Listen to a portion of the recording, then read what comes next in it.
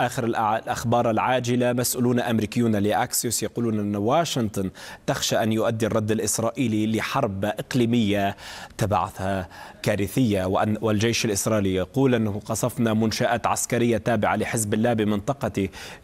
جنوبي لبنان